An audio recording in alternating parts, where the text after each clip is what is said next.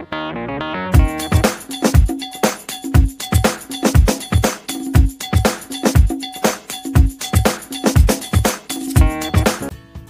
friends welcome back to my channel men's kitchen आप सबका स्वागत है। जैसा कि आप जानते हैं, सर्दियाँ आ चुकी हैं और हमें अपने खान पान में कुछ बदलाव भी लाने पड़ते हैं जिससे हमारी बॉडी हेल्दी रहे। तो इस बार मैं आपके लिए लेकर आया हूँ तिल और लहसुन की चटनी। तिल का महत्व आप सब जानते ही हैं कि सर्दियों में हमें तिल का सेवन करना चाहिए, क्योंकि इसके अंदर जो ऑयल्स होते हैं, वो हमारी बॉडी के लिए बहुत अच्छे होते हैं। तो इस चटनी को बनाने के लिए आज हम ले रहे हैं यहाँ पे 200 ग्राम तिल। ये वाइट कलर के तिल हैं, सफ़ेद तिल हैं, छिलके वाले तिल नहीं हैं। साथ ही मैंने यहाँ पे लिया है 20 से 25 लहसुन की कलियाँ, जिनको मैंने छील के ले लिया है। यहाँ मैंने 10 से 15 कश्मीरी लाल मिर्च का इस्तेमाल किया है। अगर आपको तीखा पसंद है तो आप दूसरी मिर्च का भी यूज़ कर सकते हैं। यहाँ मैंने ड्राई कोकोनट लिया है 20 ग्राम करीबन और यहाँ मैंने लिया है salt as per your taste इस चटनी को बनाना बहुत ही आसान है। सबसे पहले हम गैस पे पैन रखेंगे और जो हमारे तिल हैं, इनको हम करेंगे ड्राई रोस्ट इसको करीबन दो से तीन मिनट तक हमें ड्राई रोस्ट करना है स्लो फ्लेम पे। क्योंकि तेल बहुत जल्दी रोस्ट हो जाते हैं, इसलिए आपको ध्यान रखना है, उसे लगातार चलाते रहना है। ये देखिए, इसके सीड्स जो हैं पॉप करना शुरू कर दिए हैं। यानी कि ये अच्छे से भुन चुका है और कलर भी हल्का चेंज हो चुका है। तो अब हम कर देंगे गैस बंद और इस सारे तेल को हम निकाल देंगे एक प्लेट में और होने देंगे कुछ देर के लिए ठंडा। इन द मीन टाइम हम उसी वाले पैन में दोबारा से हम कश्मीरी लाल मिर्च और नारियल को ड्राई रोस्ट करेंगे। वैसे तो ये ड्राई ही हैं बट कई बार हम घर में रखते हैं मॉइस्चर आ जाता है, इसलिए इसको ड्राई रोस्ट करना ज़रूरी है। करीबन एक से दो मिनट के बाद ड्राई रोस्ट होने के बाद आप गैस बंद कर दें और इसको भी हम ठंडा होने के लिए सेम प्लेट में निकाल लें।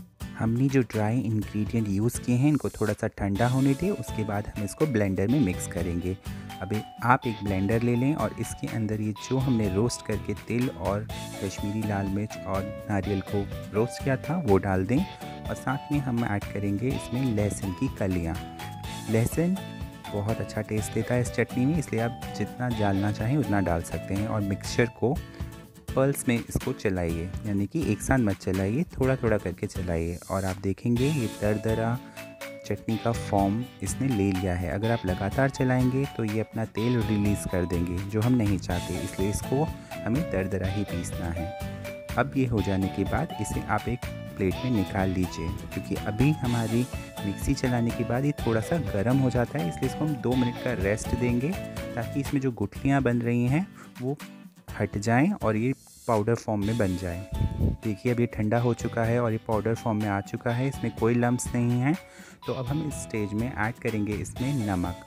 नमक इसमें थोड़ा ज़्यादा ही डलता है, इसलिए आप अपने टेस्ट के अकॉर्डिंग डालें। मैंने यहाँ पे डेढ़ चम्मच करीबन नमक इसमें ऐड किया है। मैं हमेशा पिंक सॉल्ट यूज़ करता हूँ, क्योंकि वो सेहत के लिए अच्छा होता है। अब बस हमारी चटनी बन के बिल्कुल रेडी है। इसको हम एक एयर टाइट कंटेनर में स्टोर कर लेंगे।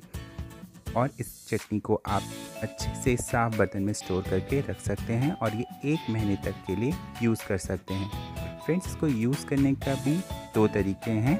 कुछ लोग इसे ड्राई खाना पसंद करते हैं और कुछ लोग इसको घी के साथ या फिर ऑयल के साथ खाते हैं। मेरा तो फेवरेट घी के साथ है। तो आप एक चम्मच इस तरह से घी ले लीजिए कटोरी में और एक चम्मच इसमें जो पाउडर फॉर्म है उसे मिक्स कर लीजिए।